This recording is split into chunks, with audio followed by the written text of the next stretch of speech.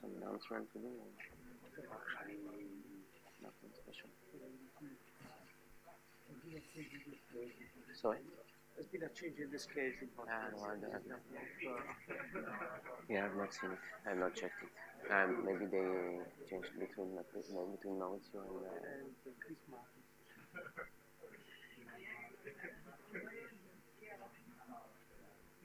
So, good morning, everybody. It's nice to see that uh, almost all of you survived the weekend. Uh, be ready because tomorrow weather forecasts are indicating uh, something like minus nine. yeah, that's, that's what I could see. But in, in this case, it's the best thing to, to cope with this kind of problem is just to stay inside the building. So you stay here, you study, you work, and so there is no problem.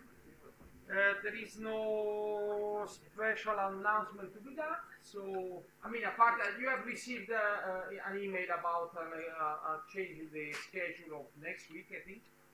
And also, probably we receive soon some exercises from, from Gregory as usual, do the exercises because self-evaluation is uh, uh, uh, as important as evaluation done by somebody else. And uh, okay, then enjoy the lecture. Okay, thank you. Okay, good morning to everybody. Uh, so maybe uh, just to uh, repeat or rephrase what uh, Andrea said, uh, you should have received an email from Erika um, with a short exercise sheet. So I try to produce some questions that I think should be quite typical of what you should expect for the exam. So let's, I mean, I would strongly recommend you, suggest you to uh, try to, to, to, to look at it, uh, work on it, and uh, you will get a correction tomorrow on Tuesday. Um, and that will be also useful for me to have uh, feedback from you. I mean, whether it's too easy, too difficult, whatever, to more or less gauge the, the level and write an appropriate exam. Okay, but try to make it seriously. Okay, so uh, and also you will also uh, you will also actually uh, receive I mean two links I mean with two references um, by myself and my colleague Satya. I mean okay these are not of course the the, the only uh, uh, source of information that you should have about it, but at least I know what is what is inside these papers, uh, and uh, I know that they will be useful. So one concerns this more or less the description of this May's model and this third order, I mean this phase transition that we want to describe here. Um, so this is one of the two papers. And another one uh, actually concerns the large deviations, uh, very brief introduction to it that I gave uh, on Saturday, and that, that I will briefly recall it.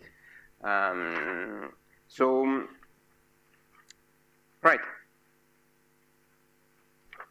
So this is what, uh, what we were uh, talking about uh, on Saturday. So basically, we were again looking at this, uh, this May's model. You remember this uh, quite simple uh, interacting uh, uh, species model. And the question is whether one can compute the stability, the probability that the system is stable. And we had indications from, from Mays and, and collaborators later on that if you look at the probability, this probability of stability as a function of, of alpha, or instead as a function of 1 over alpha, uh, what you see in the large n limit uh, is that there is a transition between uh, a phase which is uh, always uh, stable at low interaction strength, while it becomes stable when alpha, sorry, it's stable, excuse me. So it's, it's stable when alpha, when alpha is small, that means 1 over alpha is large. So in that region, the probability that the system is stable is 1. While on the other hand, when alpha is large, that means W equal 1 over alpha small, uh, this uh, system becomes uh, unstable with probability 1.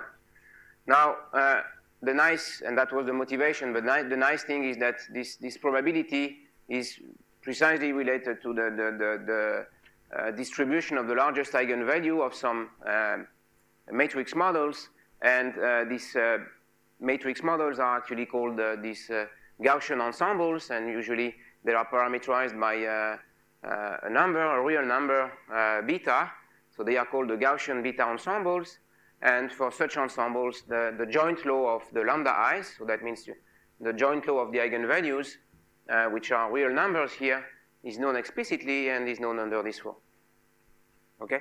So again, I mentioned, uh, I started with the simplest uh, example, or at least the most natural example, I should say. It's not the simplest, but it's the most natural, certainly, uh, in particular in this context, which corresponds to beta equal 1, which is the GOE ensemble. Okay, so that's the case where you take a matrix which is, which is real symmetric and you put random numbers, Gaussian numbers in it, independent ones.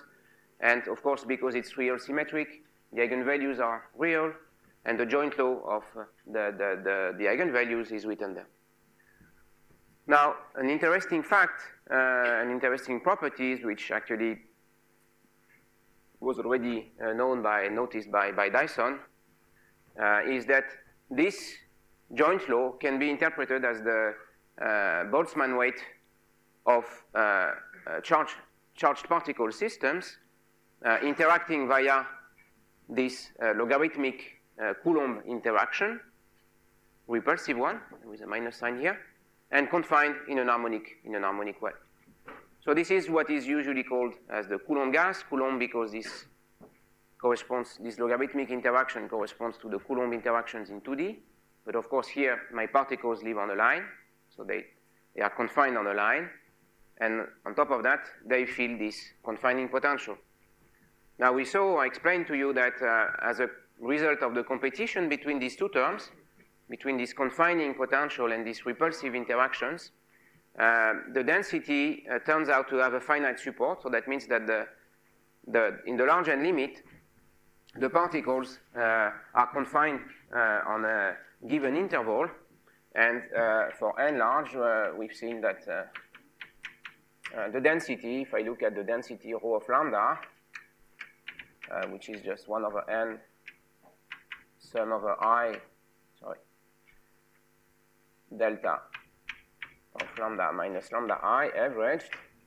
Well, this goes to uh, limiting uh, profile, and this limiting profile uh, is as a support on the interval minus square root of 2 plus square root of 2, and this is known under the Wigner semicircle, okay?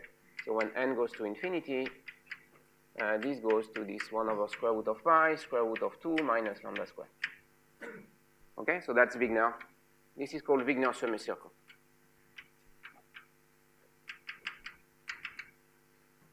Okay? Yes? Yeah.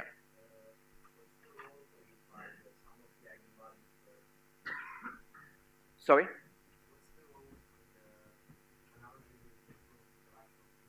This term. Okay, so this term actually tends to confine the, the particles uh, in the middle of the trap. Okay, so in other words, if you don't have this, uh, this interaction term here, okay, then this confining potential really uh, favor the configurations where all the lambdas are close to zero. Okay, so this term, I mean, if you think, eventually what will happen is that uh, the system will try to minimize its energy. And if you only have this confining term here, well, all the particles would sit at lambda i equal to zero, okay? Because uh, they all want to, all the particles want to minimize their kinetic energy. Now, this is not possible. I mean, this is not possible. Uh, this will cost a very huge energy to the system because of this uh, repulsive interaction. You remember that uh, I insisted on that, that in these matrix models, uh, that the two eigenvalues don't want to sit close, close by to each other, and there is a so-called level repulsion phenomenon, which can be viewed as a, as a, as a logarithmic interaction. And the competition between this uh, confining potential and this repulsive one effectively uh, result in the fact that the density has a finite support. Okay, so the particles will be spread over this uh, interval minus square root of 2 plus square root of 2 and given by this uh, Wigner semicircle. Yeah. Uh, yes, but uh, okay. At this level, at this level of description, it's it's a little bit. Uh, yeah, I, I, cannot really describe it. One one needs to go one step further. So that means that one has to write an equation for this rho of lambda, Uh, and when you write this, uh, the equation for this rho of lambda, then you see that mathematically, I mean, the only possibility is that you have, uh, you necessarily have a finite support. But there is no, as far as I know, there is no simple physical argument at this level uh, that tells you that. So that's, that's something that really depends pretty much on the, on the type, yeah, on the type of interactions and the type also of, of, of potentials that you have.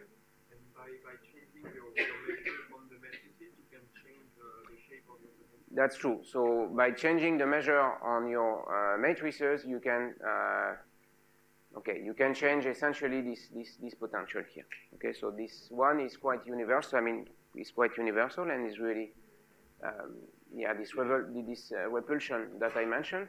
But you can actually tune this this uh, this potential, and it might happen that if the uh, the, the, the, so if you change the potential in general, you will change the, the, the shape of the density.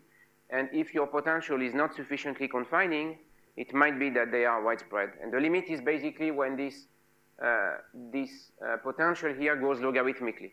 Basically, this is this log that you have. Okay, roughly speaking. but this would drive me a little bit too far, but uh, that, these are very interesting questions in the context of RMT, of course. So my point was here to, uh, to try to say something about lambda max. So of course, I mean, there are many things, many interesting other things to say about this, these matrix models. I want to focus here on lambda max because this is a lecture on extreme statistics first. And on the other hand, because in our model, um, we have seen that this is really the, the object that we are after. Now, because of that, uh, because of the fact that uh, we have a, a finite support here, uh, then what I said, uh, what I tried to convince you is that this lambda max, when n goes to infinity, uh, will uh, almost surely converge to square root of 2, which means that uh, the, uh, the probability that lambda max is, say, smaller than w, when n is very large, okay, so that just to make a connection with this quantity here, uh, will be indeed uh, will indeed has this form with a WC, which is precisely square root of 2. Okay? Is that fine? Right? Because I'm saying that lambda max with probability 1, essentially when n goes to infinity, the distribution will be a simple delta function, and the cumulative distribution is just a step function.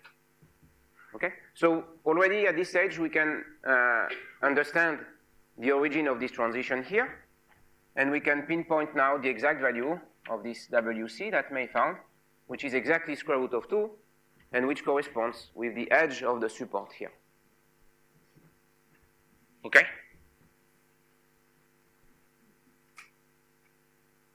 Now, we could say more, and we want to say more, and what uh, we said before, or yesterday, or not, not yesterday, but Saturday. Um, essentially, I first discussed what I call the typical fluctuations of lambda max.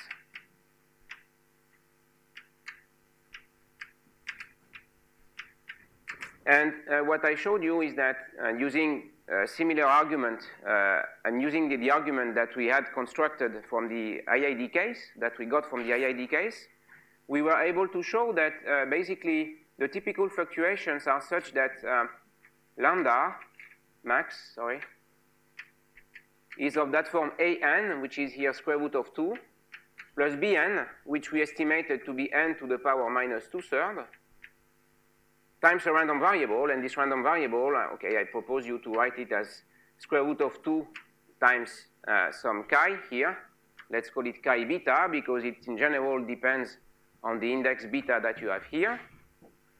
And what I showed, I mean, what I explained to you is that the typical fluctuations, uh, so now if I look at the P, the cumulative distribution of this random variable, so chi beta here, so that should be only asymptotically true when n is large.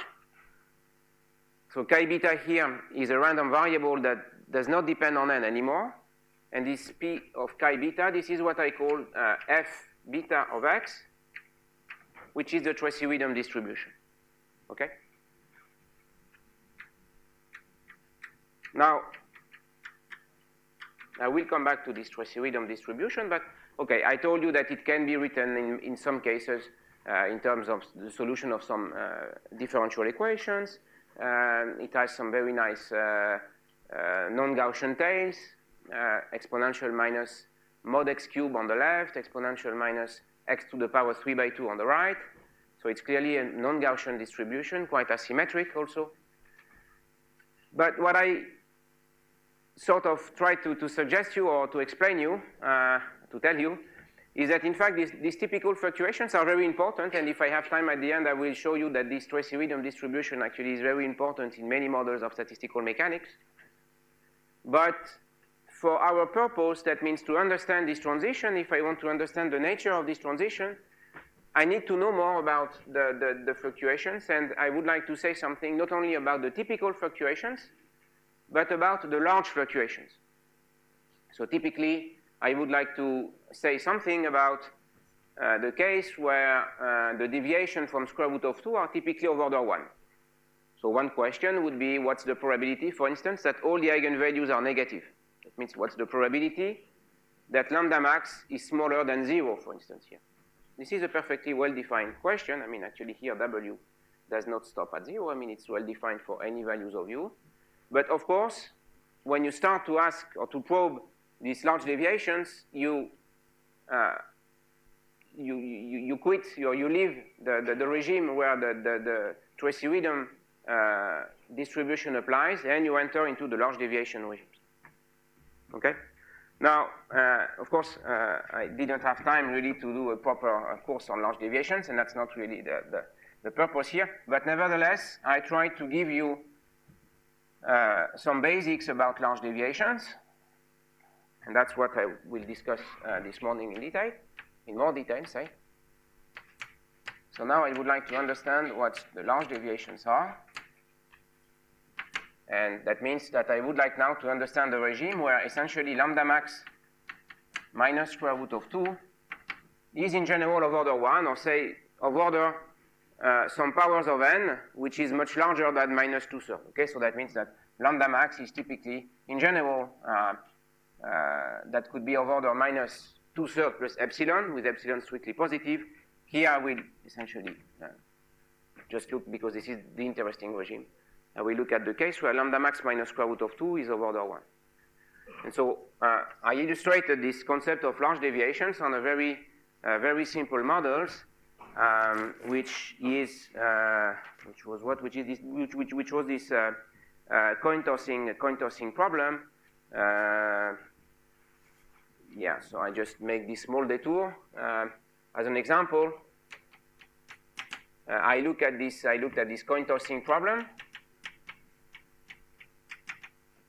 Where you have, again, a head or tail with probability would just be a head tail with probability half. And uh, I was just looking at uh, NH, which is the number, the number of tail, and uh, which you still can be right as a sum of IID random variables. With sigma i equals 0 or 1. 1 if h, and 0. Okay, it's a bit cryptic, but uh, in principle, I did that in detail last time. Uh, so now if you look at the distribution of nh is equal to m, so if, say if you plot it,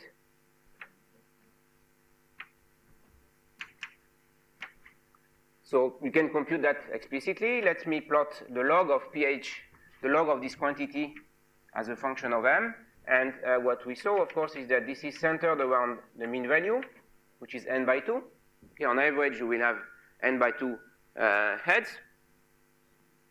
And now you have some distribution around this n over 2.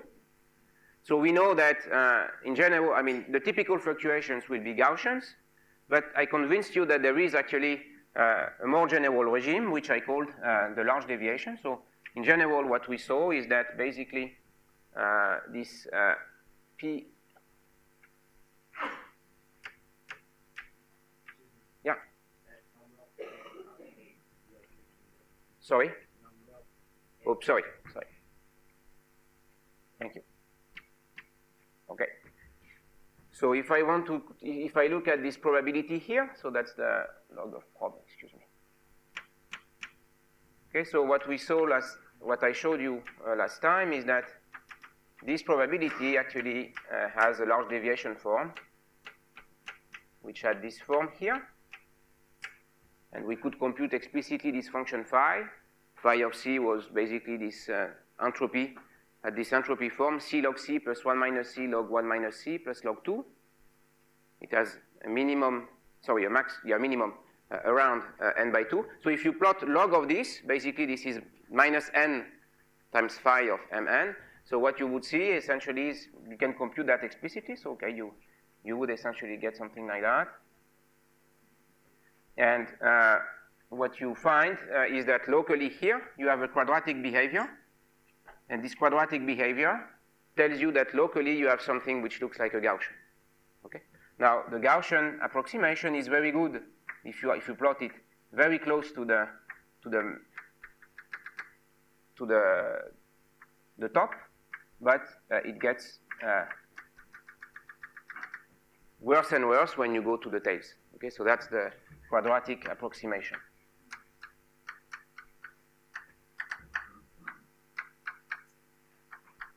Okay, so it took me some time uh, to remind everything, but I thought it could be useful. I mean, otherwise, uh, I was fearing to, to, to lose you just uh, from the beginning. Is that fine? So now what I want to do is the same kind of analysis, but for the distribution of lambda max. Okay? So that's something, uh, of course, much more complicated. And uh, one thing which is also quite different compared to the, to the case of the sum is that if you look at the large deviations on the right of the typical value or on the left, they are actually quite different. And this can be understood physically, and I will show you why and how uh, later on, but let me first you let me first sorry quote the results. And I will then uh, try to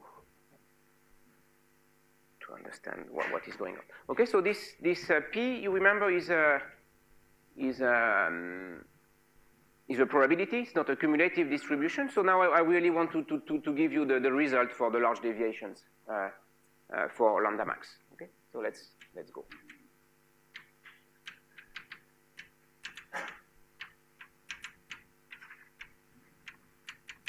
Okay, so for this, I will look at the cumulative, sorry, the, the, the density, okay? So up to now, we were looking at uh, this guy. So to make contact with this, uh, I prefer to look at the PDF.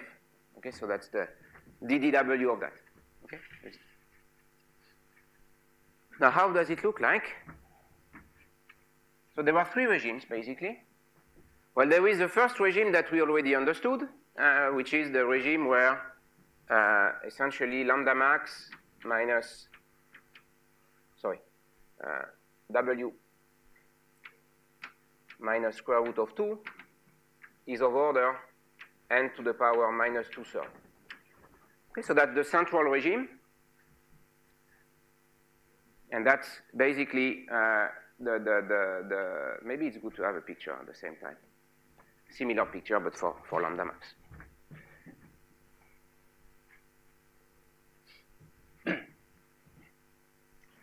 okay, I just keep this, this for comparison.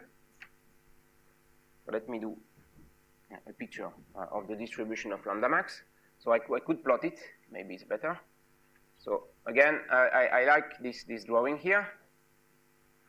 I'm looking at the density, minus square root of 2 plus square root of 2. And now I'm, I look, on the, I, I, plot on the same graph, I plot this, this PDF here. Okay, so that's d dw of p of lambda max smaller than w. Okay, let me do it in blue. So there is a regime again which is around square root of 2 and which we have described and which is basically this guy here. Okay, and it has a width n to the power minus 2 thirds, and this is the Tracy-Widom regime.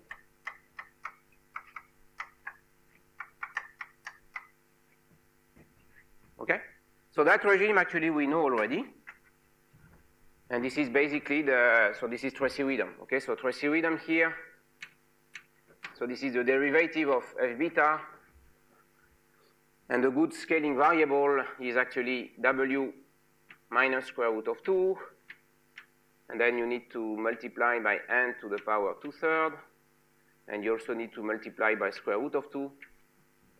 And since it's the derivative, this is square root of 2 n to the power 2 thirds. Okay, is that fine, this form here? It's not the, the, the, form that I, that, okay, I probably never wrote it in this form, but uh, is it okay? All right, so why do I write it this way? Simply because we know that lambda max minus square root of 2, uh, Uh, I already told you is of that form, is 1 over square root of 2 n to the power minus 2 thirds chi beta.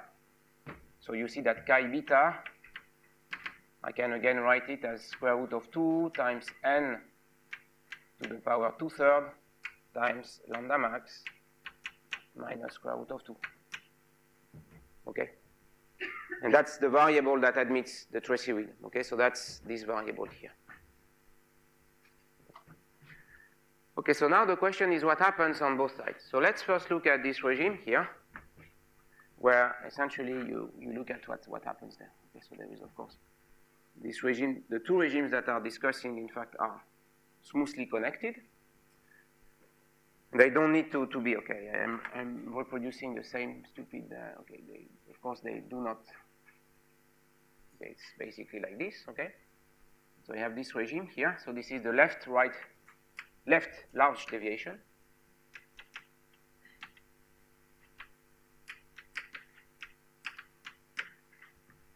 Now, what is the form of this of this scale in here? Well, it has a very different form, and also different from what we have seen here, although it has a bit the flavor of this. And it actually reads like this at the, the leading order. It's exponential of minus n squared times some function phi minus of w and plus there are terms of order n, which I will not write. So that's basically uh, for w minus square root of 2 uh, should be of order 1, and uh, square and w smaller than square root of 2. Okay, so that's the left. So that's really this part here. Okay, so roughly speaking, you have here a probability which decays extremely slowly and which is of that form exponential minus n squared times something. It's very, very small.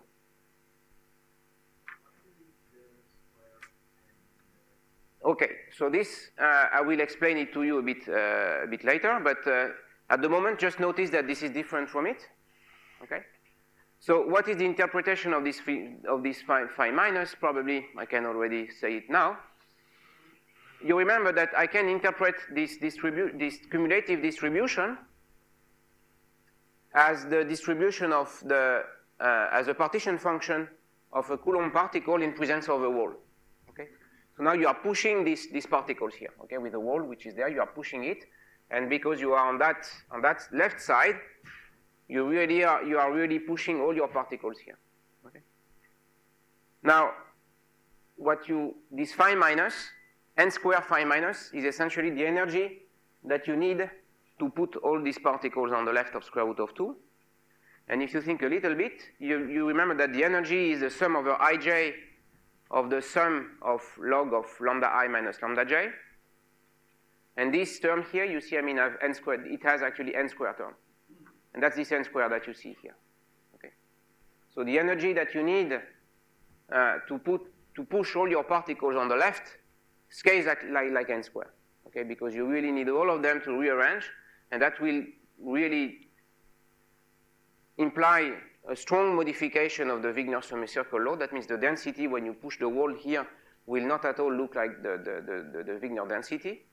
And the energy cost uh, for this global rearrangement because of this uh, n square uh, n square term, that means because, the n, because of the n square scaling of the energy, again, all the particles, it's a kind of mean field model here, right?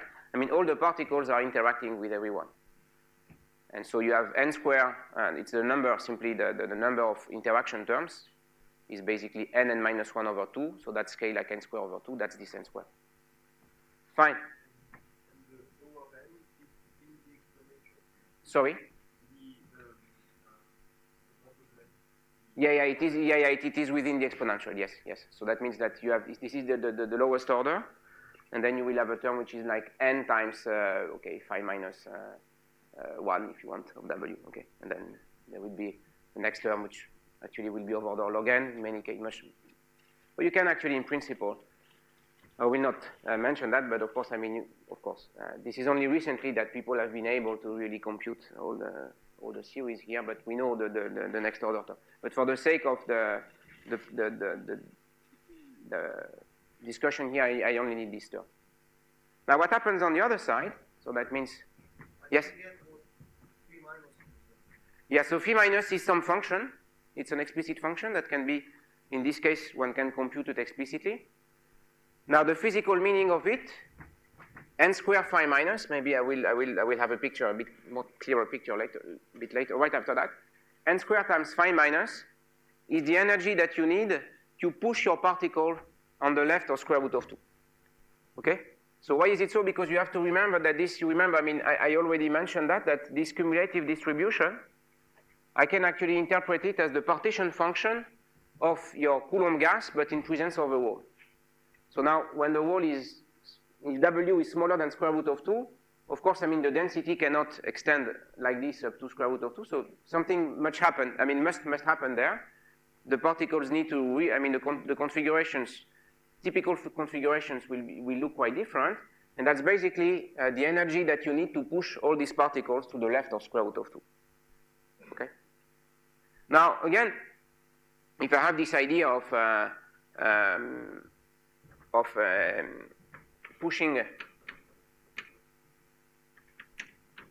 pushing particles, uh, if I want to have lambda max, which is much smaller than w, than, than square root of 2.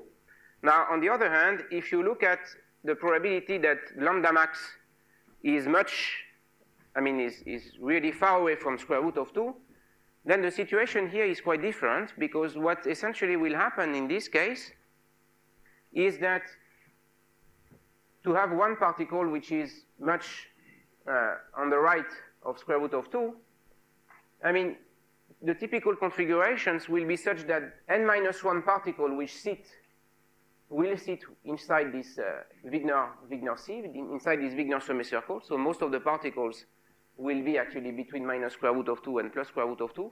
And only one particle will be very far away. And this actually, I mean, costs you much less energy because you only need to have one particles which you just get, you, you see, I mean, you have particles which are, uh, which like to sit in there, but then if you want to have just lambda max much larger than square root of 2, then you only need one particle to be much further from the others. And the energy that you, that, that the cost in energy to do that is simply of order n. We'll see why in a minute. And so that means that, it, so in other words, it's much, it's much easier. I think that this you can more or less feel, I mean, simply because of this uh, uh, repulsive interaction. And as a matter of, of uh, I mean, as a consequence of that, the energy that you, that the cost in energy here turns out to be exponential minus n times phi plus of w. And here, okay, it depends a little bit on the model, but uh, okay, we just, uh, the small o over n here usually you will get uh, order one term, in fact. But uh, yeah. let, be, let, let me be conservative. Is that clear? So again, that means that you have now something like that on the other side yellow. So you have exponential minus n square on the left and exponential on uh, exponential minus n on the right. Okay, so this is the right tail, and this is the left tail. Okay? So now, now we, we, we, are, we almost there. I mean, if we want to describe, uh, to describe properly this May's transition, uh, we are almost there because uh, we can now uh, really look at, at what this transition is. Okay, so that's, that, that, that's, that's the result of a rather technical analysis, and I will just comment a bit on the picture later on.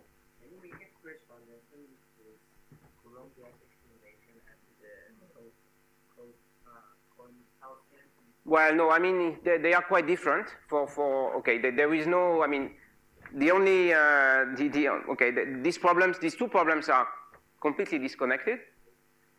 The only, th the only reason why I chose to, uh, this example is to basically show the, the um, I mean, to feel a bit the, the, what, what large deviations are.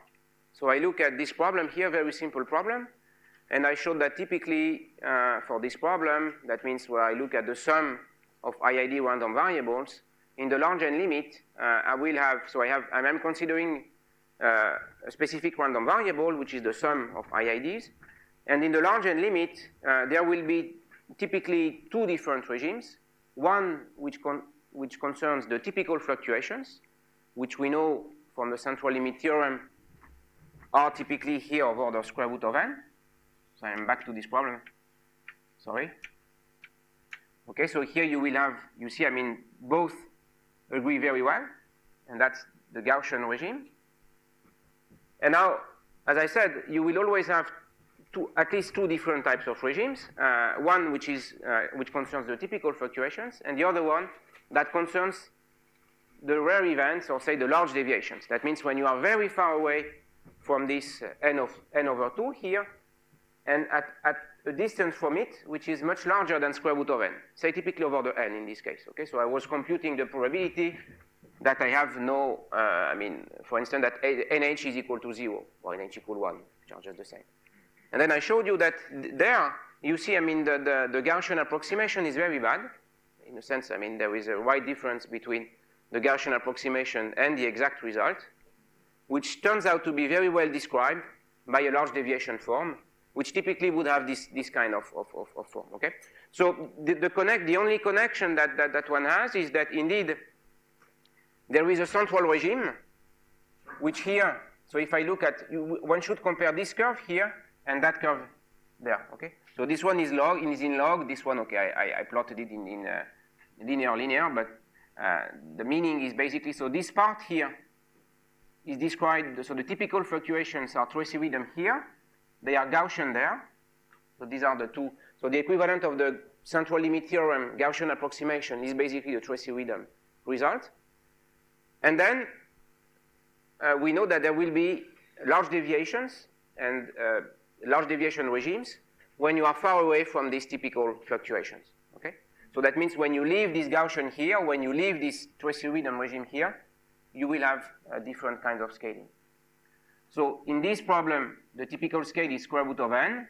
In that case, the typical scale is n minus two-thirds. And when you go uh, far from, this, uh, from these uh, values, from this scale, you enter different regimes.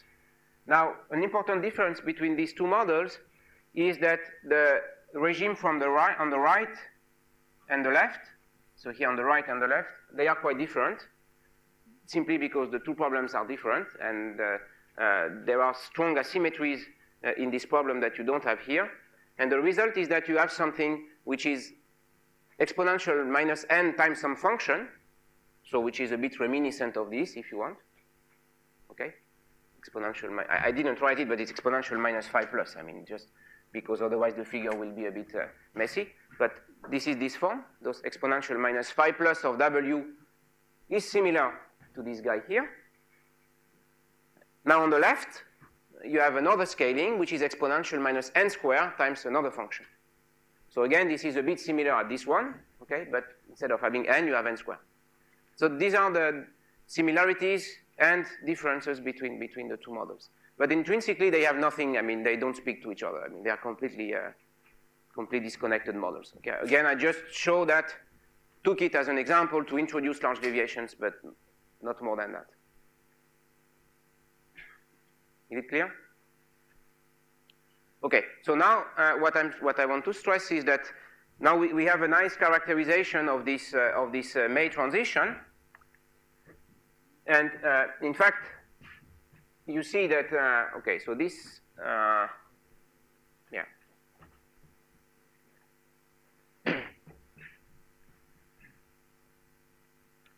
So that's fine. I think now this I can erase. This we understood more or less. I think you, I hope you have understood that. Uh, now, so that's for the PDF, okay? So that means if I want to look at, okay, this is, this is uh, P, P, of, P of lambda max uh, minus W, smaller than W. So this was, okay, this is the PDF, that's the way I want to write it. Uh, now this is what I, up to now I called Fn of W, the cumulative distribution.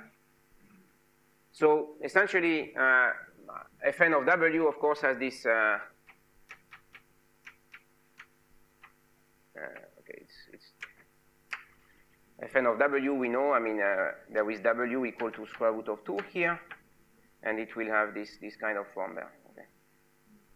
So now I know a little bit more of that because, of course, it converges to 1. Okay. So maybe it's, I wrote it for the PDF because I think it's slightly more natural. Now, for the purpose of what I want to say in a minute, it's better to write it, what it means for Fn of W. So if I am on the left here, that will not change anything, so that will be just exponential minus n squared phi minus of w for the for the regime one. Okay, I mean I, I, don't want to repeat everything, so that will be regime one, regime two, regime three. So that will be this one in regime one.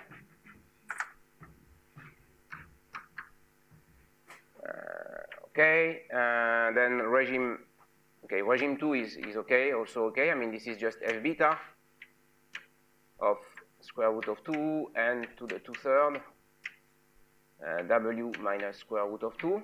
So that's the second regime. And then I have a third regime. So here, one has to take care a little bit. Uh, fn is actually is the, is the integral of this. Okay. So again, here this will not change anything at this at this at this order. But if you look at that, when W is, uh, of course, when W is larger than square root of 2, the leading term is 1, right? And then there is a small correction which is given by that. So this is 1 minus exponential of minus n phi plus. Plus small, small n, okay, in the three, third origin.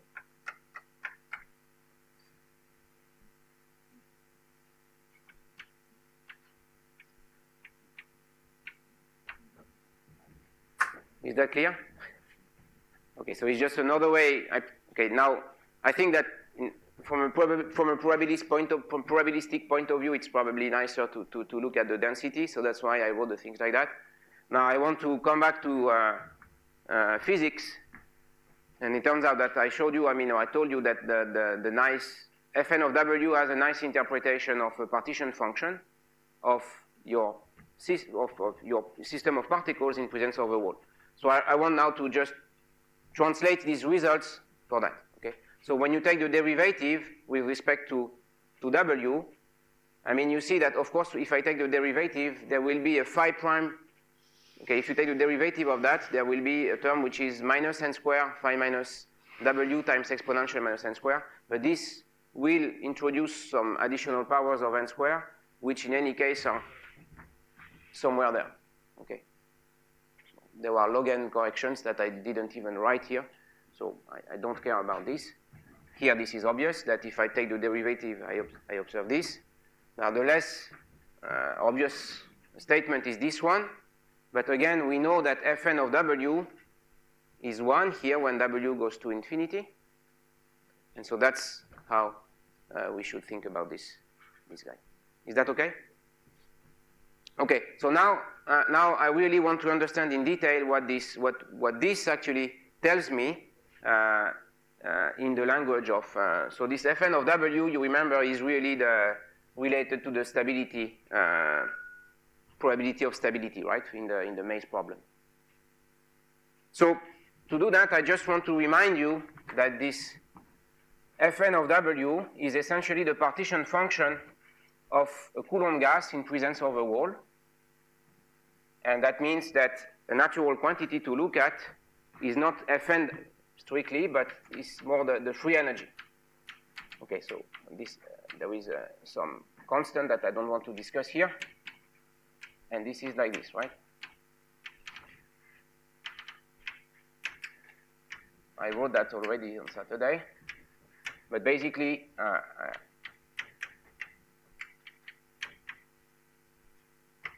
okay, so you have your weight, your statistical, I mean, Boltzmann weight and you want to have the probability, again, I remind you that this is the probability that lambda max is smaller than W. So the probability that lambda max is smaller than W is the probability that all the eigenvalues are smaller than W, okay? And so that's again uh, the Coulomb, uh, so that's a Coulomb gas, log gas, in presence of a wall.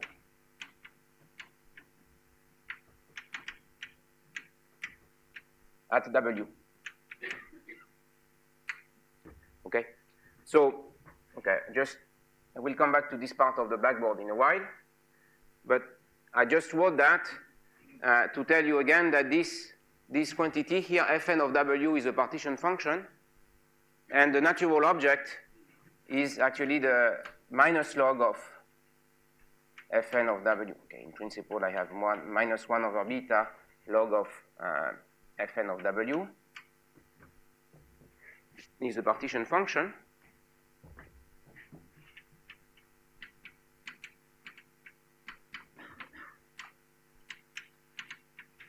Now, usually in short-range interacting uh, system like Ising or short-range interacting systems in general, this uh, free energy scale like n, the number of particles.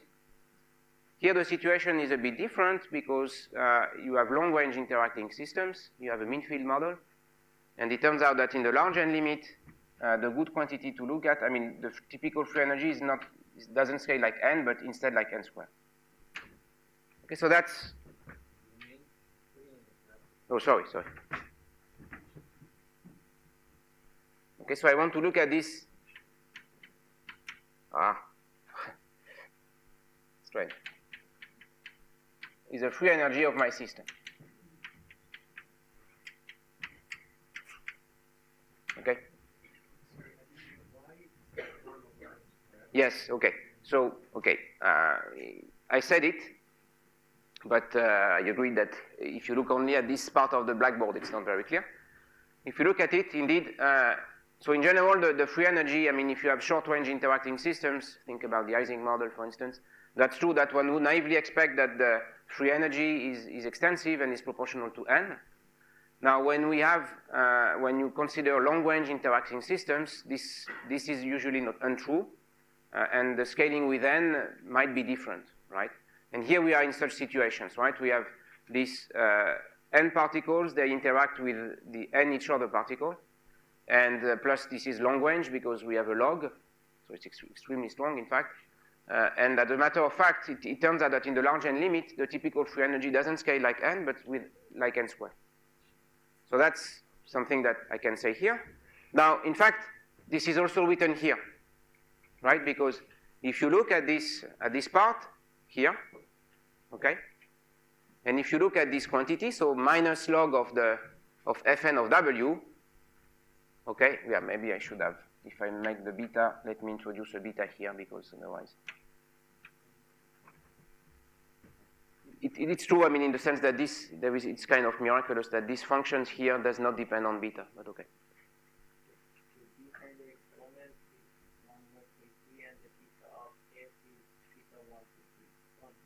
Yes, I mean, beta is a parameter. I mean, uh, if you want to, to interpret it, uh, I mean, okay, we write it because it, it has a natural interpretation as an inverse temperature, which is not really, I mean, it's not really, uh, it's, it's just take it as a number. Oh, that's the same. No, no, that's the same. The same here. Yeah, yeah, that's the same everywhere. Yeah, yeah. No, that's actually quite, uh, quite nice. This, this is the same everywhere. Can you read it, what I wrote it? Yeah. So now you see, I mean, if you look at this quantity here, so let's call it, uh, say, F, this is the free energy, so, okay, I want to call it a small fn of, of omega. Well, from that result, now you see that there is something quite nice, because you see that if you take log of this and divide by n square, then obviously this will just give you phi minus of W. Now, if you take log of this and divide by n square, then what you will actually get is something that goes to 0 when n goes to infinity. Okay? So, in other words, if you really look at this Fn here, which is this free energy, Fn of W, when n goes to infinity, let's forget about the, the, the, regime 2, which is extremely, uh, I mean, which, which does not really exist here, I mean, for the purpose of it. But essentially, when W is larger, okay, when W is smaller than square root of 2, you see what I get? Basically, I will get phi minus of W. Okay? Which is non-zero, which is computable exactly. Now, if you look at what happens on that side, so you have log of 1 minus something which is very small. So log of 1 minus epsilon is basically minus epsilon. So it's exponential minus beta, and you divide it by n squared when n is large, and that will be obviously going to 0 exponentially. So on that case here, on that region here, that simply goes to 0. Okay? I don't discuss too much the central regime, which, which is not, at the moment, which, which, which I've not really uh, I don't want to, to, to, study that too much in detail. But so you see that there is actually a phase transition between a phase where you are pushing your system, so this, this is a pushed phase,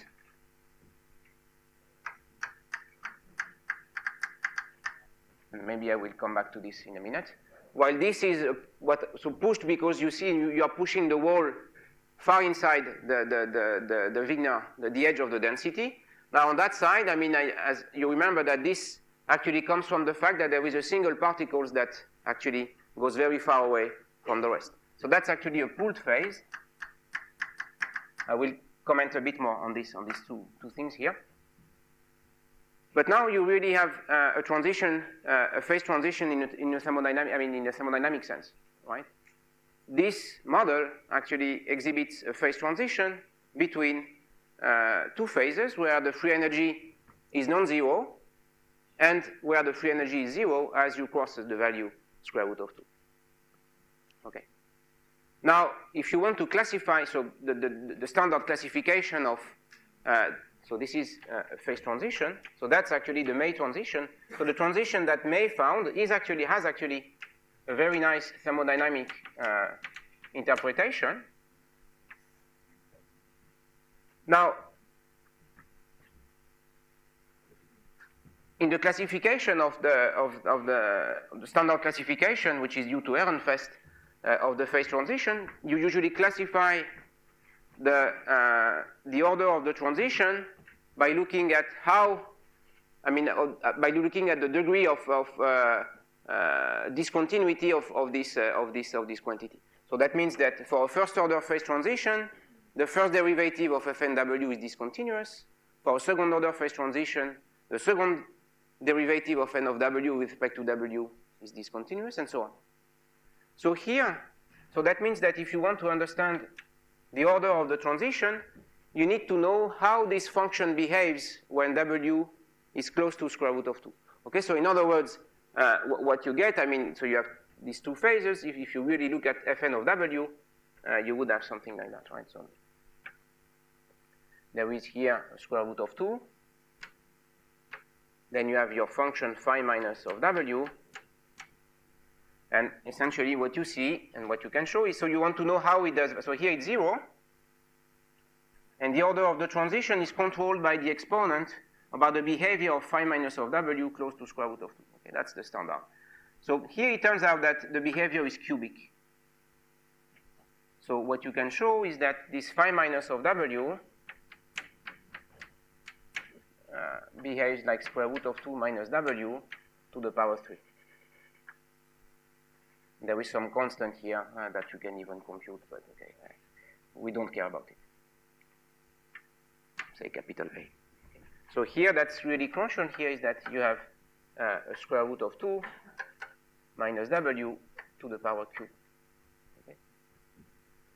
So now, if you look at, okay, if you look at the first derivative of phi minus, uh, on that side is 0, on that other side is 0. If you look at the second derivative, it's 0 there, zero there. And if you look at the third order derivative, then you immediately see that the third order derivative of that guy when w goes to uh, square root of 2 but being negative has actually a finite value, why it is 0 on, that, on the other side. Okay?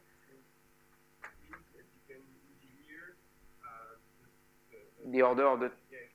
Yes, you can engineer it, but you need to work a little bit. yes, you can engineer it. That is true. Uh, but this requires uh, quite some work because it turns out that this cubic behavior is, is extremely robust. So that means that uh, if you change the potential, for instance, uh, you will, okay, except if you fine tune it in a very specific way, but typically you would observe a, a cubic transition. So this uh, is, is quite universal, but, but here again, I really want to say that, uh, to mention that the third order derivative of phi minus, or the free energy if you want, ah, I wanted to keep this. Um, yes, I still want to keep it. So what I want to say here is that this is the third derivative of uh, d3 dw3 of phi minus w. So that's the first derivative of the free energy is discontinuous because of this 3, of course. Huh? Is discontinuous at when you cross uh, w equals square root of 2. Okay, so that means that it has two different values, whether you are slightly uh, above square root of 2 or slightly less than square root of 2. And this means that uh, you have a third order phase transition. Okay? So that's so let's let's try to understand this now in a bit uh, on a sort of graph to recapitulate of this of this. Okay. So okay, now eventually I will just uh, erase this because uh, Okay, let me write this. So now I, I want to have, I have now, I claim that I have now a quite nice description of the phase diagram of this May model. Okay, so to, to see that, uh, I will actually plot, so that's the phase diagram of the, the transition of by May. But I want to, to have this phase diagram, so uh, let me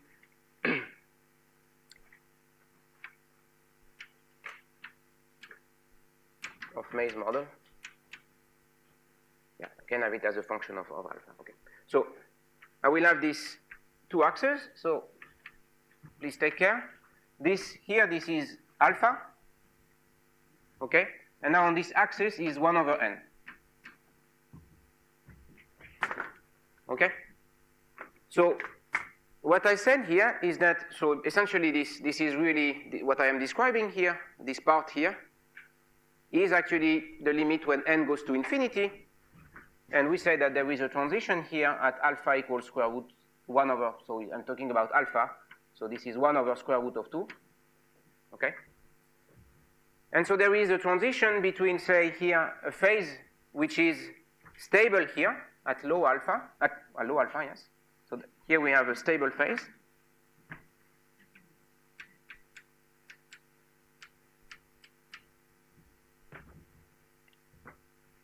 Okay, when alpha is small. And this somehow corresponds to a weak coupling regime. Now, on the other side here, for large alpha, you have an unstable, an unstable phase. Okay? But of course, this transition only exists at n goes to infinity. So that means only on that line. Okay? So you, you have this, uh, okay, these two regimes, basically. But remember that we had, for n finite, we had an intermediate regime, which was the case where w of minus square root of 2 was the order n to the power minus 2. So, so what does it mean? Well, that means that, of course, if you look at your system for finite n, there will be a crossover, and okay, so that would, that would mean that for finite n, you will have uh, a third intermediate region here,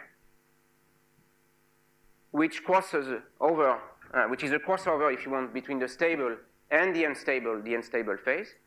And this crossover is described by the Tracy-Widom.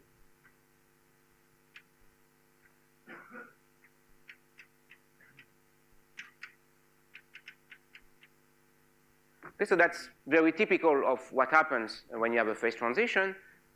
Effectively, a phase transition only exists in the thermodynamic limit. That means when n goes to infinity, strictly.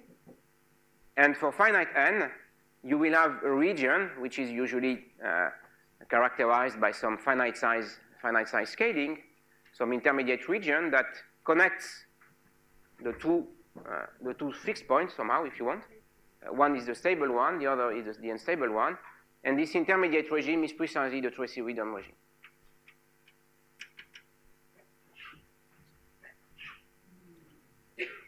Okay?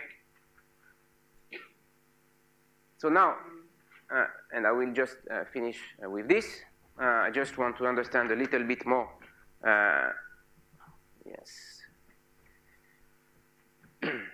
okay, that's fine. So, so that's, that, that's a very nice picture, I think, of the, of the, the May's, uh, I mean, May's transition. It's quite simple. Um, and you really see the, the, the, I mean, first, that this stability and stability is governed by these random matrix models. And more than that, uh, so that means, okay, uh, in other words, maybe another picture that we can, that, that we can sort of uh, uh have is that, so if I look at this, uh, distribution this table, this time as a function of 1 over alpha. Okay, I'm just reversing it. So we had this, uh, well, let's do it as, yeah, as a function of 1 over alpha, otherwise you will be a bit misled. so we have seen that we have a specific, so we have this kind of phase transition, right? So that's the, what happens in the large n limit, n goes to infinity from 0 to 1. Now, if you really look at what happens for finite n, of course, you will have a different, uh, you will have a kind of, uh, I should write it not in dotted lines, but maybe really like this. So that's what happens for finite n. And that means that this step function is smeared out over a certain scale, and this scale is precisely this one here, right? And this scale uh, is of the order n to the power minus 2 thirds. Okay, so that means that here you are, again, uh, in a regime that corresponds to, um, so this is the Tracy-Widom regime. So if you really look at what happens close to square root of 2, you will get something which is described in terms of Tracy-Widom distribution.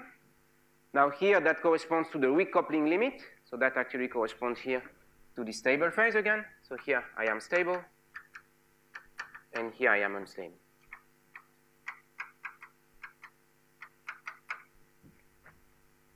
Okay? Now stable actually corresponds to what is known, uh, I would like, I like to call it a strong, strong coupling regime because it's a, uh, sorry, I like to, to call it, uh, yes, the, the unstable, oh, sorry, sorry, I made it, uh, uh, no, that's fine, that's fine. So I, I, like to think about this regime as the weak coupling regime, okay? So alpha, alpha is, is, is small, and it's stable. On the other hand, when alpha is large, uh, then you are in this, in this unstable regime. Questions? No, no, no, it's not vice versa. It's just that here I, yeah, just, okay, here I, I, I plot it as a function of alpha, and here I've plotted as a function of 1 over alpha, okay? Yes.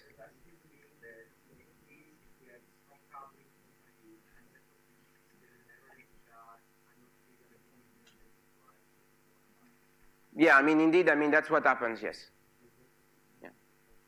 Again, don't forget that this is a model, a simple model, right? If you look at, uh, if you are interested in, if you look at the paper by May's, I mean, then many, many people have worked on that, and uh, the conclusion that you can draw uh, from this model I'm not claiming that uh, they are super universal and that they describe all the, the ecological model that, that you will have uh, in the world, right? So, uh, for the, but for this model, the statement that you, that, that you made is correct. Yeah, okay. If you don't like it, I mean, just if you want me, I, I, if you want, if you um, if you don't like it, I just can plot it as a function of one over alpha. Okay, it's not very pedagogic what I did indeed. Yes. Okay, so let's me let me correct this. okay, that will be just one over alpha. You don't need to change so much that will be square root of 2, that will be stable, and that will be unstable. Okay. So that uh, otherwise, yeah, I'm sorry about it. Okay. So again, large coupling, you are unstable. This means this. And uh, strong coupling, uh, weak coupling, sorry, means uh, 1 over alpha big, and you are in the stable regime. Okay. And this regime that I tried to explain here corresponds to this one. Okay? Is that fine? So uh, now maybe I, uh, maybe one comment uh, at this stage uh, is that, so we have here a, third order phase transition. Uh, as I said, I mean, uh, in statistical physics, uh, this is not very common. Uh, nevertheless, it turns out that in, in high energy physics, uh, people actually have observed this kind of transition. And in fact, the first who did observe this, this transition was in the context of QCD, in the context of Yang-Mills theory on the lattice.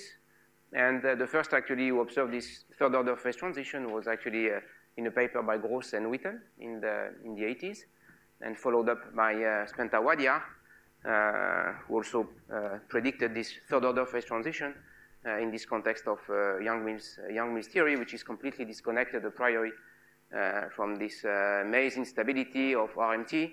But it turns out that there are links, which I will not have time to, to, to, to explain, but all these models actually uh, with the third order phase transition uh, are actually, um, I mean, closely connected to each other. Um, yes, so maybe something that I, I, wanted I wanted to uh, to, to do. I mean, maybe yeah, just it's just uh, let me take five minutes just to explain this a little bit more, just by saying an additional word to that trying to understand this stable to unstable uh, transition. So let me just uh, rephrase a bit what I said here. Okay, so that's why I wanted to have it here. So this fn, let me come back a little bit about this uh, exponential minus n square, exponential minus n, because I think they are quite important to understand. And I just want to uh, comment on the fact that here we have a Coulomb gas with a wall. Okay, so what does it mean, and what does it mean when you really cross this transition here with the wall, okay? So there are essentially three kinds of, of, uh, of, uh, of situation, right? Because you will see Coulomb gas with the wall. So let's start with the simplest guy. So we know that uh, the, forget about the wall. Okay, forget about the wall at the moment we know that all the particles, they like to sit on this Wigner semicircle here. Okay? And now you want to, you want to, to, add, to add a wall to these guys. So let's look at the situation where W is strictly larger than square root of 2. Suppose that you are putting a wall here.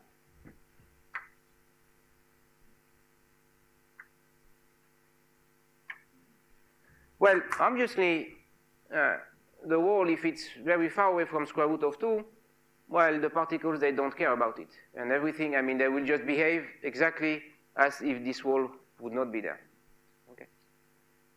Now, I told you that uh, if you want to have a large uh, particles that is, that sits at the wall, then basically what, what, what you would have to have is essentially that to take one of these particles and to take it close to the wall. But the rest of the particles is pretty insensitive to this, uh, to this, to this phase, to, to, to what happens with that wall. So, and if you want to have one particles that really escapes from it, then you really need to pull the charge out of this.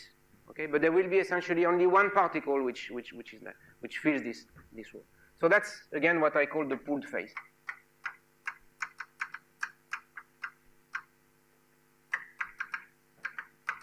Now let's look on the other hand uh, at uh,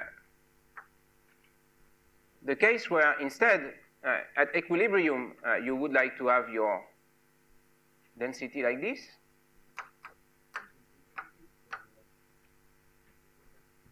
Yeah, so here, I mean, you see, I mean, first you put a wall, I mean, okay, if I want to compute Fn of W itself, okay, so there are two things on this figure. If you want to compute Fn of W, it's, a part, it's this is the partition function of the, uh, of the wall, of the Coulomb gas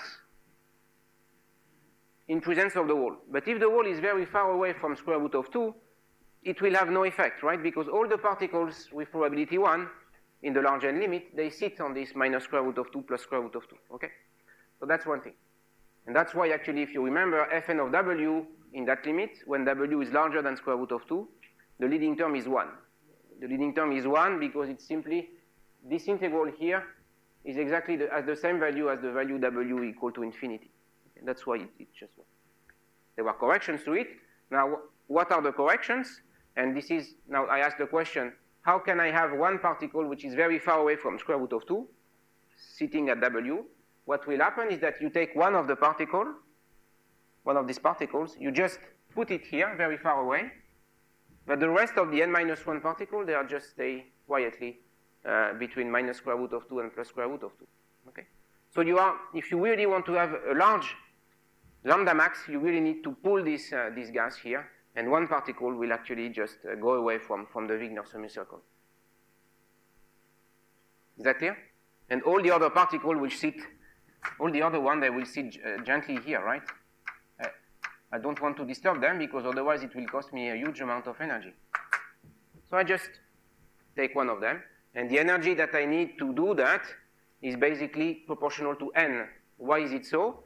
Because these particles is interacting with the n minus 1 other particle, and basically that's the cost of energy that you need, right? One particle which interacts with n other ones. That's the origin of this, of this, uh, of this n, okay? So the energy to do that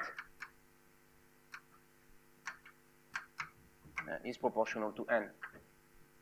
Now let's look at the other, the other situation where instead now you put a wall which is here. Now this, this is really another story. So you push this wall, okay? And now at some point, okay, you will cross square root of 2, and then you end up in, in that phase here. So obviously here, I mean, the particles, I mean, they cannot, they cannot stay there. And the resulting uh, density will be quite different, and the true density will more look like that there will be some accumulation. So the density will diverge close to the wall simply because you are pushing it. You're pushing this gas. They cannot stay there. So that's the equilibrium density without, without the wall.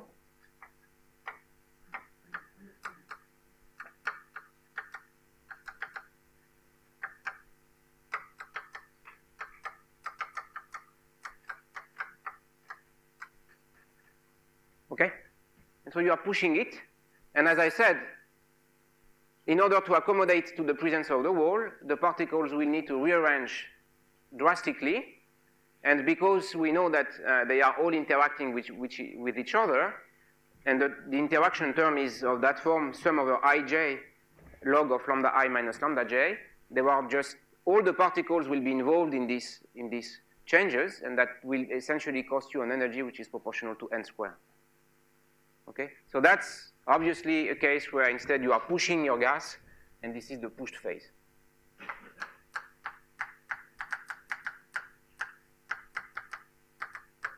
And the energy needed uh, to do that is proportional to n, to, to n squared.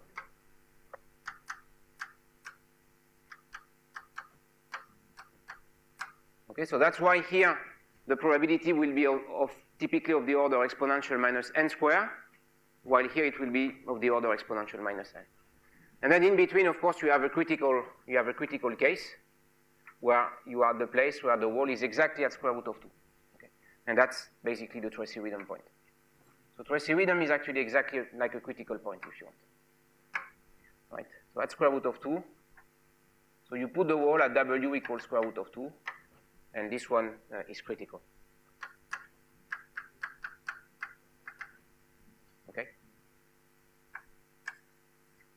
So you have the critical, you have the pulled phase, and you have the pushed phase.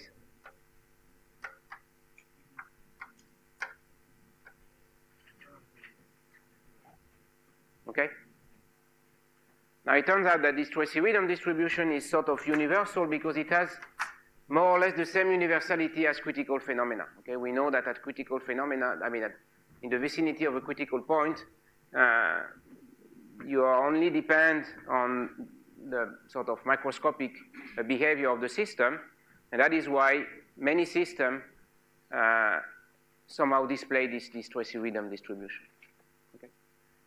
Now, of course, if you begin to change the interactions, if you begin to change, and specifically the interactions, things are uh, different, and you might observe different kinds of transition.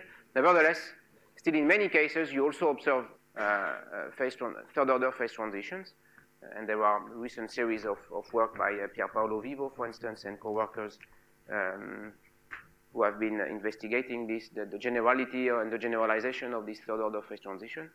Uh, we have also uh, generalized it to many, many problems. Uh, and so what is quite nice here is that somehow you can grasp a little bit the origin of the universality of Tracy-Widom, which is connected to uh, the universality of, of phase transitions. Yeah. Yeah, that's a good question. So so you can, of course, so Coulomb gas in higher dimensions. So for instance, okay, there are several things that, that, that, that you can con con consider. So one is the, I think that the one that you are, that you are uh, discussing is the case where the, the true 2D Coulomb gas, for instance. So now you really take particles in the plane, and they are interacting via the true Coulomb gas interaction, the two-dimensional, say the, the logarithmic, but in 2D, okay, so which is the true one. Now in that case, it, it's nice also this model because it's connected to another set of random matrices, the simplest one actually. So if you take uh, just uh, random matrices without any symmetries, say they are complex because it's the nicest, the nicest example, uh, then in that case, uh, you just, so you fill your matrix n by n without any symmetry, just random Gaussian numbers, real and complex independent. And then you look at the distribution of the eigenvalues, they will sit, of course, in the plane. They are not real anymore. They will be spread out of the complex plane. Now, it turns out that the, the law of these eigenvalues is precisely the law of the, uh, what is called the one component, two-dimensional one component plasma. That is the, the, like the, the position of the particles uh, interacting via the 2D, 2D, 2D Coulomb gas. You can ask similar questions. Uh, and you will find again similar. So for instance, you could say, I mean, in 2D, you can say, okay, what's the probability that they all, so here, I mean, you see, I want to confine them on a segment, I mean, on, on, a, on a half line, yeah, exactly. So you, you, you insist on having them uh, on a certain radius, and then you will observe similar things, okay? So you will also observe, in fact, a third order phase transition, except that there you lose actually the, the, the Tracy-Widom. There are some other laws there. Sorry? Yeah, it's again a third order phase transition. So this has been discussed uh, uh, by uh, Vivo and, and, and co-workers. And uh, also Fabio, Fabio Cunden. Now, something that you can also look at, uh, this is something that we have done more recently, uh, is, is, you can also look at the true one-dimensional Coulomb gas. So instead of taking the log, you really take the mod, mod modulus of xi minus xj, then you will also again find another third order phase transition. And uh, with other type of laws, uh, this is not Widom there, this is something related to it. I mean, not related, I mean, of the same flavor, but, but uh, unrelated. Uh, and it seems that it's quite robust. Yeah. So maybe I will end uh, with discussing some, uh, some applications of Tracy-Widom. Um, okay, it's, it's certainly a very long, uh, it's a quite long story. Um, okay, maybe I will sort of start with uh, the application that I prefer because it was also the, so, okay, so to say, um, this Tracy-Widom distribution basically was discovered in 94. Uh, and then, okay, it was there, but uh, it was like something a bit mathematical, okay. And then uh, it turns out that uh, at the end uh, of the 90s, uh, in 1999 actually, a beautiful result came out from three, three great mathematicians, Baik, Deift, and Johansson, who actually discovered that this this Tracy-Widom distribution actually arises in a completely different problem, which is in principle also of mathematical nature, which has to do with the random permutations of numbers. Okay, so I just want to show this application because it's, it's quite striking.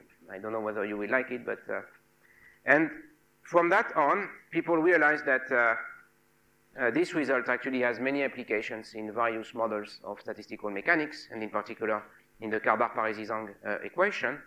Um, and that's, uh, that was really the starting point. Okay, so this. Let me just uh, finish these these things on RMT with that. Um, but that's really, uh, so, and then started a very nice story. I mean, uh, where uh, people really realized that this, this Tracy-Widom is, is, is, extremely robust and appears in, in huge, uh, huge uh, variety of problems. Uh, we recently showed that, for instance, it appears also in the, in the, the problem of free fermions. In some question, probably that I don't know, Maurizio briefly mentioned, but um, it has been found in finance, it has been found in uh, uh, wireless, uh, I mean, all these people who are, who are looking at these uh, wireless uh, communication problems. Uh, so it's extremely nice, and I just want to finish with this.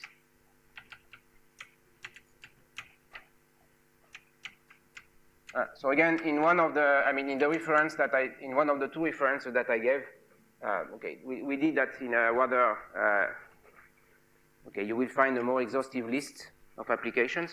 Now here I want to discuss the sort of, I think the, the problem which, which really started this, this, this long story. And this has to do with the longest increasing sub subsequence.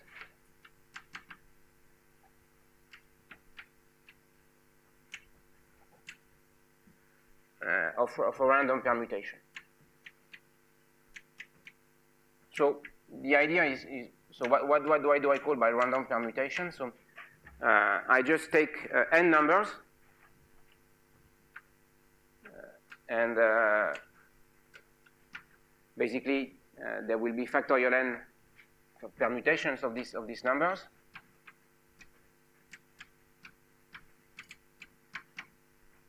And I consider the simplest case where all these permutations are just uh, they have a uniform weight. Okay, so each permutation arises with a probability which is 1 over factorial n. Okay, so this is my set. This is my set of, of uh, random numbers. If you want, you, you just say, okay, I just look at all the permutations, and then uh, I want to do some statistics on it. Now, this problem actually is quite is, is, is very old. It's due, in fact, initially to Ulam from the 60s, 70s. And uh, let's illustrate it on a, on a simple example. So let's take, for instance, n equal to, to 8.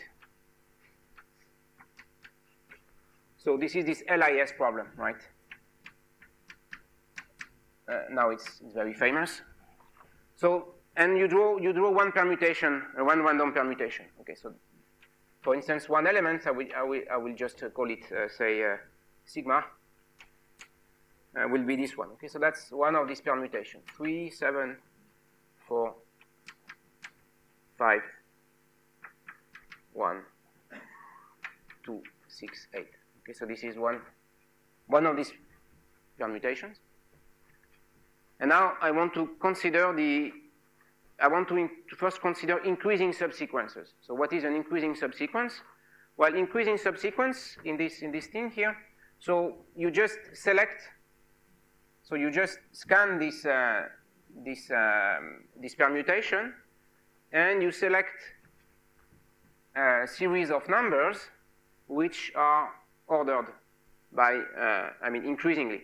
So for instance, uh, one uh, increasing subsequence, let's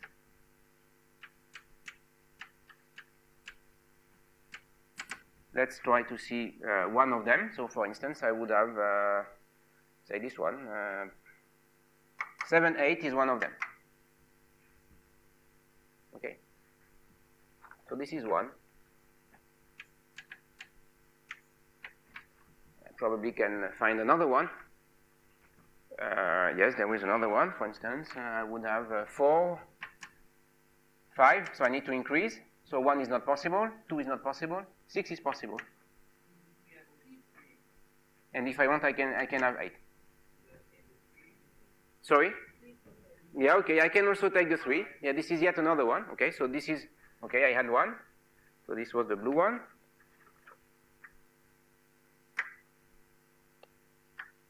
7, 8.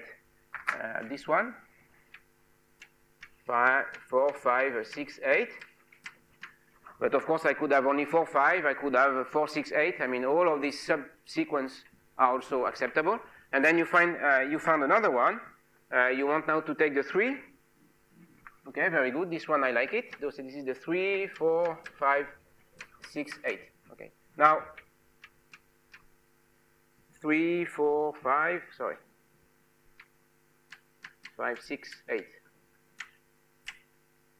So you will have a certain number of uh, increasing subsequences. And now you look at the longest one. Okay, so in fact, the last one that you gave me is the longest one. Okay? So you look at the longest, uh, the longest sequence, and this is the longest increasing subsequence. Yes? No, because they are permutations. Yes, so this is not possible because they are permutations. So all the numbers here will be different. Okay, so I take this, I, I, I, take the numbers between 1 and 8, or 1 and n in general. I just permute them, shuffle them. This is actually, of course, related to some shuffling card, card shuffling problems. Uh, and this uh, eventually, uh, so that means that, that, they are all different. Okay? But nevertheless, you can still have uh, several longest uh, increasing subsequence. Okay, so it might be that, uh, okay, here I have not investigated it in details, but um, this is the, there might be several longest increasing subsequence, and you look at the length of it. Okay, so uh, so this is this is the longest one. So this was a very old problem in in uh, I mean longest increasing subsequence, and you look at its length. Okay, its length is uh, here LL n equal to 8. So here is L8 is 1, then it's 5. Okay? And then you, you just um, select another uh, random permutation, and you do the same exercise, and you look at the length. So ln will be a random variable, and you ask what's the probability uh, distribution of this, of this L, ln. Okay? So more generally, ln uh, is basically the, yeah, ln is the length of the LIS. Okay? And you want to, to, to know the statistics of this guy. Now, that means that you would like to know the statistics of, of it.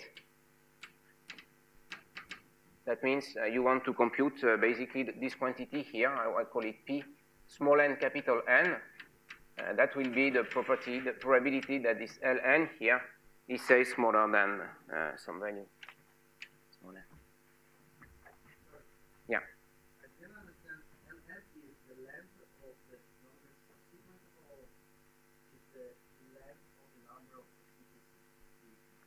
So it's the length of the longest subsequence that you can construct from a given permutation. Okay? So this problem was there for a long time, and uh, people had uh, partial results. For instance, it was known that uh, uh ln, uh, in uh, people knew this its asymptotic value when n goes to infinity. In fact, Ulam himself knew this result, and he had shown that this was 2 square root of n. This was, I think, I think Ulam, Ulam had this, had this so also this problem was sitting a bit, I mean, uh, no one uh, okay, had a very uh, nice ideas of how to compute that or say something about it. Now, uh, in, in 99, uh, these uh, three people, by, I just mentioned their name because, well, first there were three of them.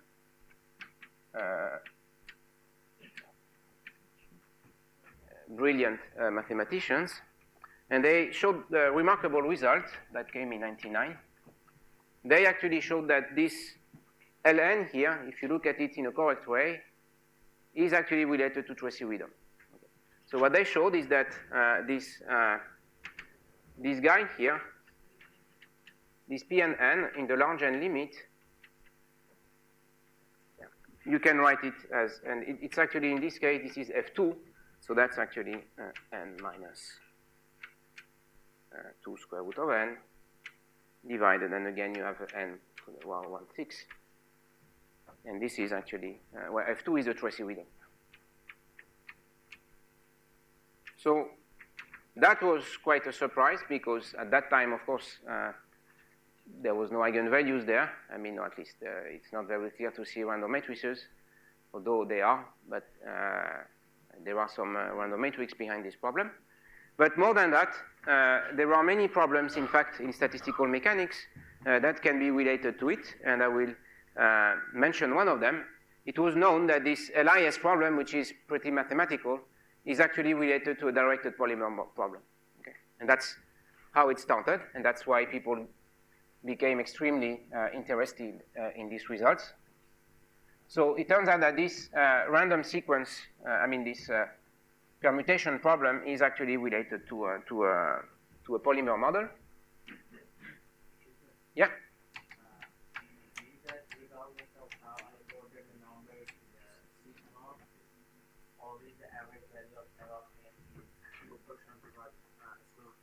Well, yes, so that means that the average value will be 2 square root of n. In fact, that means even here, given that the fluctuations, so it's a bit like in random matrices.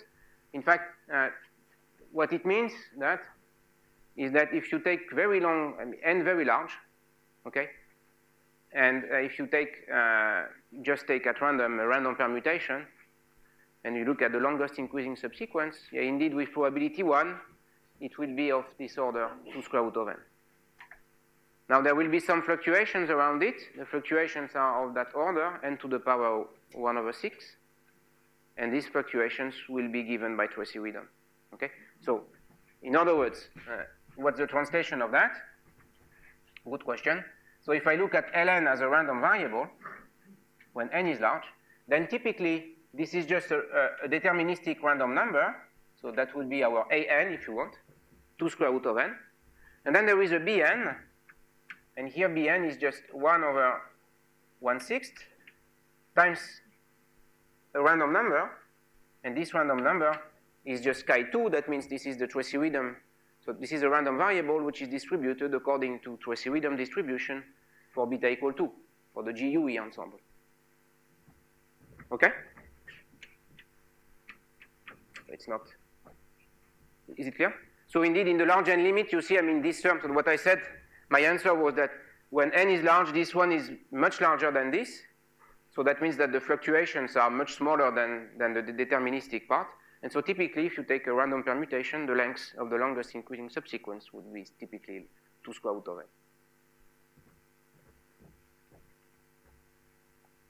Okay.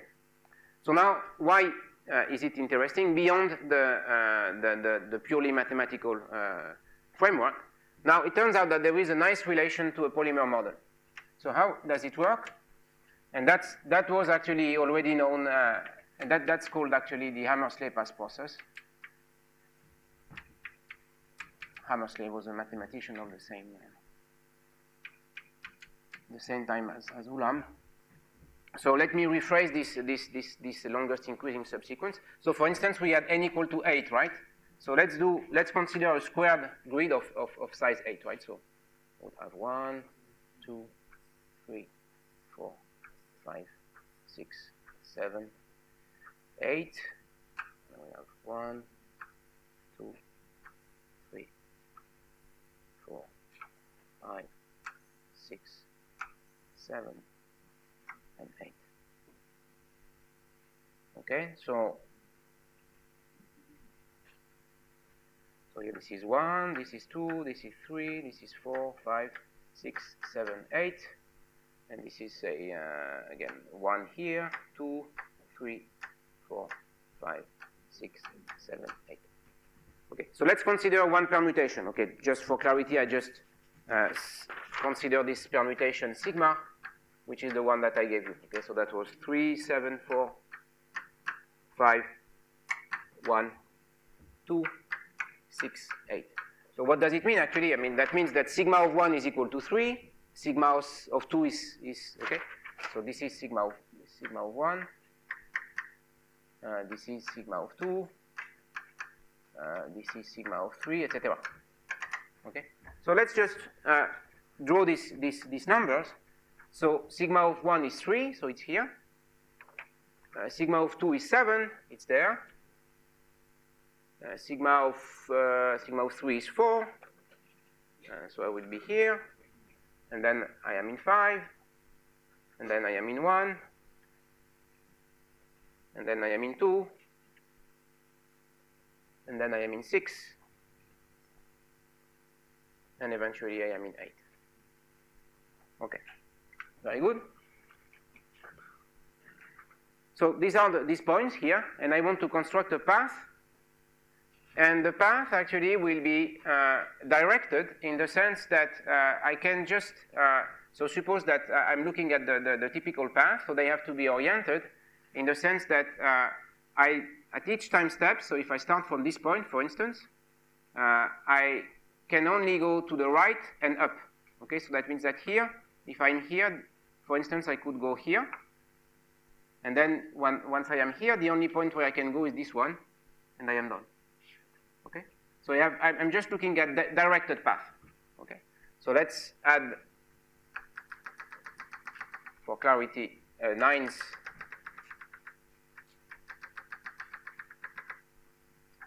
And, and, and, look, and let's look like one of these uh, increasing subsequence. Okay, so for instance, there is this subsequence that uh, we mentioned. I don't know, one of them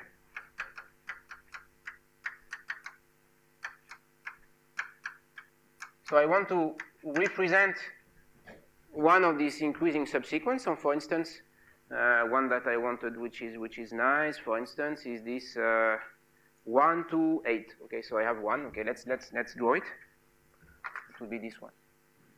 One, two, eight. This is one of them, right? So I have these points. So I start. Uh, I have this point here. So this is one is there actually. And then uh, I move to 2, so I move here. And then I move to this one. So this is my, my sequence here. And then, okay, I will add a starting point and, then, and, and an end point. So this is the addition, the additional construction. So I have an ending, a starting point here and an ending point there. So in other words, that would be here one of these, one of these paths. Okay? Is that fine? So I put these points, and now the criterion is that I am doing a random walk, which at each time steps can only go first to the right, and then it has to be, uh, it has to go, that it has to go up. Okay, so it's a directed path. Okay, so that's uh, the path process, and it's directed. And then I want to see this blue path here as a directed polymer. Okay, it's a polymer that starts here and there, and it is directed because of the reason that I said. Okay, so you need on, all the path that you need to, to you need to go always in that direction. So it's always basically east and north. Okay, I can just go in, in this direction. So you can never go down, and you can never go west. So if you think a bit about it, all these paths are in bijection with the increasing subsequences of your permutation. Okay? So that gives you one, one types of, of polymer. So in other words, the increase in subsequence is in bijection with uh, a lattice path, which is, a poly, which, is which, I, which I want to see as a polymer. And now I want to consider the optimal polymer how do I do that? Now, I will say that to each of these polymers, I attach an energy, and the energy is basically the number of points that you have touched. Okay, that's my model. Okay, that's, that's my polymer model. So now the energy uh, of the path of a polymer is basically the number of points that you have encountered. The number of points that you have touched. Okay? And now, obviously, the question that you ask is, okay, I want to look at the optimal energy. That means the energy which has the highest energy, the, the, the path that has the highest energy, and the path that has the highest energy is precisely the longest increasing subsequence. And the energy associated to this path is the length of this longest increasing subsequence. So in other words, the energy of the optimal path is just Ln, and that tells you that the energy, okay, let's write it this way. So that's, that, that was one of the connection, if you want, that uh, made people realize that this was indeed a, a very nice uh, and, and, breakthrough uh, result here. So uh, now you would say that the optimal, the optimal, uh, optimal path is basically uh, the path uh, with highest energy.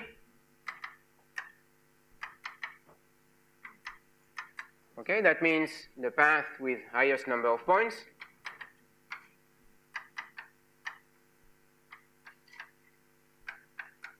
Okay, and it is in bijection then with the longest increasing subsequence by definition. Now, the energy of this optimal path is precisely ln. Okay?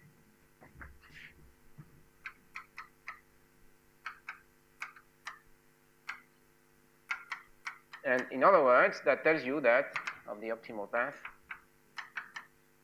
is actually precisely ln.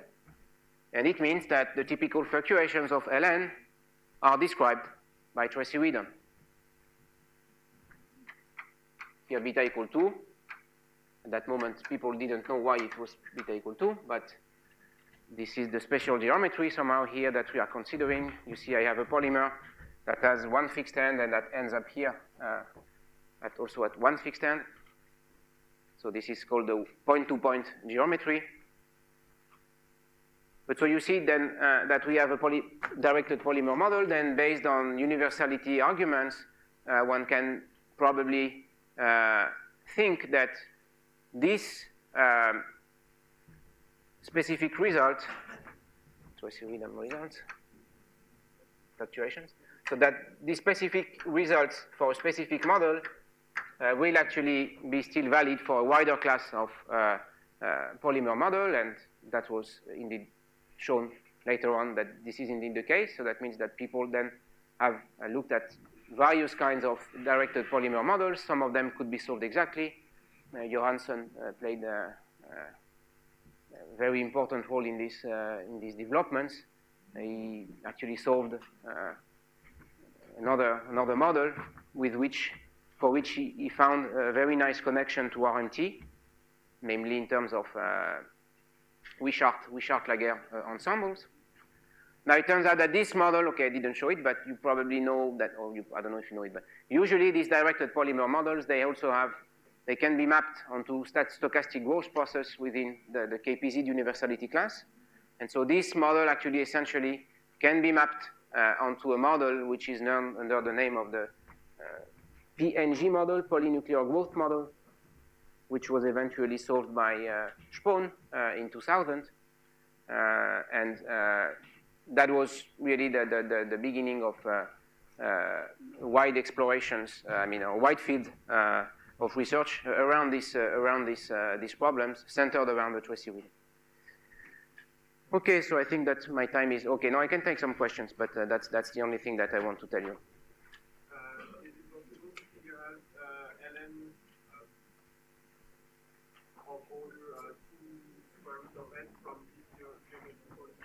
I don't have a very nice, uh, I don't have a simple way to get it, although it, this might exist, but uh, I, I, don't know it. If it exists, I don't know it. In any case, it's not trivial. Even this term is not, is not trivial. So now, okay, it, it corresponds to the edge of, of Tracy-Widom, but of, of the, the Wigner semicircle, but of course here there is no, no random matrix. So. Okay, thank you.